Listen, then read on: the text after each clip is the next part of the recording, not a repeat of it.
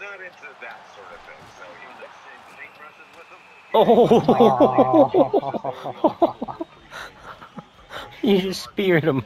Whoopsie. I gotta see that again. Holy shit. Oh, the elbow.